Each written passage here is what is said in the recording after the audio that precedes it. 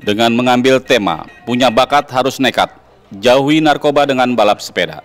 Yang diadakan oleh warga Mahipasar ini diikuti oleh ratusan peserta, di mana peserta bukan hanya dari Kabupaten Tabalong, tetapi juga peserta dari kabupaten tetangga sebanua Anam terdekat sampai Banjarbaru. Dengan kejuaraan balap sepeda ini dimanfaatkan sebagai sarana silaturahmi bagi para crosser, juga menjadi sarana hiburan di akhir pekan bagi warga masyarakat Tabalong yang hadir untuk menyaksikan perlombaan balap sepeda mini cross ini. Kejuaraan balap sepeda ini terbagi dari beberapa kategori kelas yang diperlombakan, yakni kelas bebas. Sudah.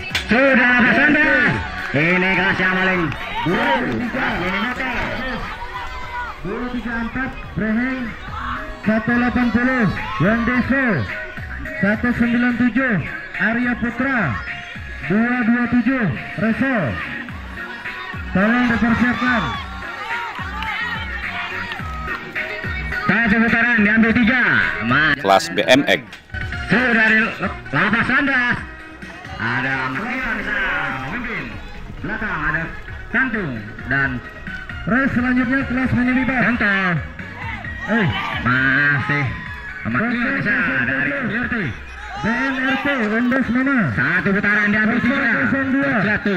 kelas junior BMX 14 tahun.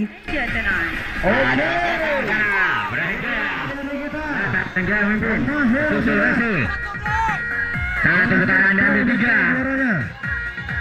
Terjatuh dua pemain tolong petugas lapangan. Masih saya memimpin. Ada Arya Putra di belakang. Satu putaran diambil tiga. Bermainlah sportif. Jangan ada yang curang. kelas mini bebas, Sudah Pak Sandra. Oke.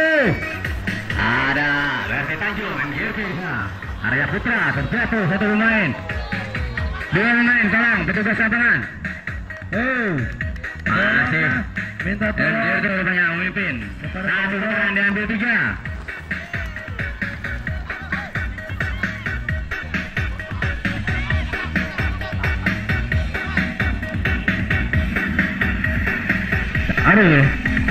Dan kelas mini moto.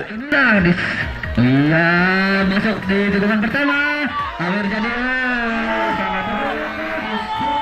Sedangkan jumlah lap pada race ini sebanyak satu putaran untuk babak penyisihan, sedangkan babak final sebanyak dua putaran.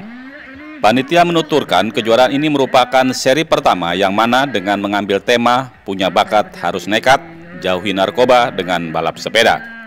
Sebagai ajang silaturahmi bagi seluruh biker-biker yang ada di Kabupaten Tabalong khususnya dan juga di luar Kabupaten Tabalong. Jadi kami untuk uh, tujuan untuk menyelenggarakan ini untuk anak-anak remaja. Jadi ada sesuatu kegiatan lah yang positif untuk di kalangan khususnya masyarakat Tabalong ini. Dan kami ucapkan terima kasih kepada uh, sponsor-sponsor kami yang telah membantu dari awal pembikinan atau pelaksanaan acara ini yang utama kepada PT Astra yang telah sudi kiranya menyumbangkan alat untuk eh, membuat event dan lapangan ini. Eh, harapan kami untuk ke depannya mudah-mudahan event-event kami di MJRT sirkuit Mungkur Paring ini bisa berlanjut eh, ke depannya. Dan kami ingin kepada instansi-instansi yang terkait di Pemda Tabalong ini mudah-mudahan bisa eh, membantu atas terlaksananya ke depannya nanti. Panitia pelaksana juga mengucapkan terima kasih banyak kepada seluruh pihak sponsorship dan seluruh peserta balap sepeda yang berpartisipasi dalam kegiatan kejuaraan ini, serta untuk ke depannya apabila diberikan kepercayaan dan dukungan dari berbagai pihak, panitia pelaksana siap menggelar kejuaraan yang lebih besar dalam memeriahkan dan menghibur masyarakat Tabalong.